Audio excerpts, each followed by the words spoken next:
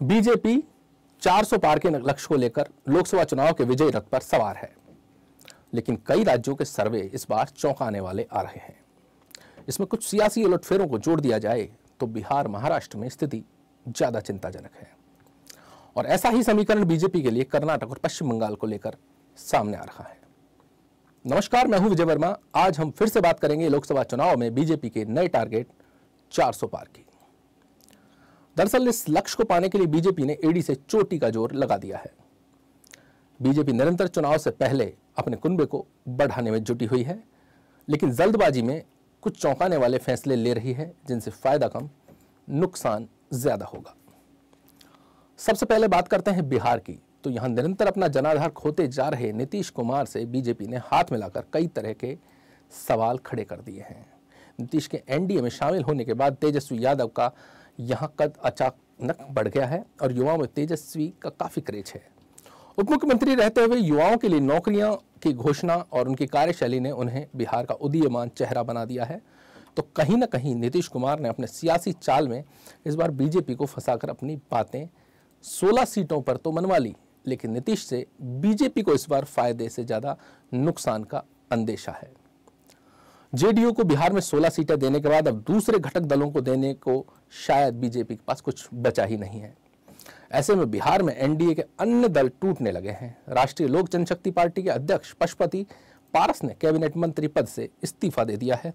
इसके अलावा चिराग पासवान या जीतन राम मांझी की पार्टी भी नीतीश कुमार से खुश नहीं है। मुकेश सैनी को कोई सीट नहीं दी गई है। उपेंद्र कुशवाहा को महज एक सीट दी गई है। बिहार के अन्य क्षेत्रीय दल नीतीश कुमार को पसंद नहीं करते हैं, इसलिए उन्हें चुनाव नुकसान, चुनाव में नुकसान उठाना पड़ सकता है। महादलित और अति पिछड़ों का वोट नीतीश को मिलने वाला नहीं है। जेडीयू या नीतीश कुमार एनडीए की कमज़ोर नब्ज बनते नज़र आ रहे हैं। इनके उम्मीदवारों को जीतने में मुश्किल नज़र आ रही है। दूसरा, विपक्षी इंडी महागठबंधन को पप्पू यादव की जन अधिकार पार्टी के विलय से बिहार में कुछ और राहत मिली है। बीजेपी का दूसरा और चौंकाने वाला फैसला महाराष्ट्र में लिया गया है। महाराष्ट्र में बीजेपी ने महाराष्ट्र नवनिर्माण सेना मनसे के अध्यक्ष राज ठाकरे से हाथ मिला लिया है। अब राजनीतिक पंडितों का कहना है कि बीजेपी को इसकी क्या ज़रूरत थी? उसकी कोई वजह भी सामने नहीं आ रही। पहली बात यह कि राज ठाकरे मौजूदा परिस्थिति में अपना जनाधार नहीं रखते। उनके समर्थन में वोटिंग परसेंटेज महज 1.5 परसेंट है। इसके अलावा अभी हाल ही के विधानसभा चुनाव में उन्होंने 100 सीटों पर अपने कैंडिडेट उतारे थे, लेकिन केवल एक ही जगह जीत पाए। बीजेपी को महाराष्ट्र में राज ठाकरे को शामिल करने का दूसरा नुकसान होगा। वहाँ रहने वाले बिहार और उत्तर प्रदेश के लोगों के वोट का एक दौर था, जब उन मनसे के कार्यकर्ताओं ने इन लोगों के साथ बहुत ज्यादतियाँ की थी। और इसी वजह से जब राज ठाकरे ने अयोध्या में भगवान राम के दर्शन करने का प्रोग्राम बनाया तो यूपी के बाहुबली ब्रजभूषण सिंह ने इस पर कड़ी नाराज़गी जताई थी और कहा था कि राज ठाकरे को घुसने नहीं दिया जाएगा। ब्रजभूषण सिंह ने इस पर पूरे यूपी को हिलाकर रख दिया था और बड़े बड़े होर्डिंग्स लगाए थे, काफ़ी पैसा खर्च किया था और आखिरकार राज ठाकरे को अपना कार्य का, कार्यक्रम बदलना ही पड़ा। तो निश्चित तौर पर राज ठाकरे को साथ लेने का फैसला बिहार और यूपी के लोगों को नागवार गुजर सकता है। अब बात करते हैं, अभी बीजेपी 400 पार के लक्ष्य को से कितना पीछे है? दरअसल जब बीजेपी ने पहली बार 2014 में दो सौ बहत्तर और दूसरी बार 2019 में 303 का बहुमत हासिल किया था। तो 2019 की बात कर लेते हैं, उस वक्त परिस्थिति अलग थी। कई राज्य थे जिनमें भाजपा का स्ट्राइक रेट पचानवे फ़ीसदी से सौ फ़ीसदी तक था।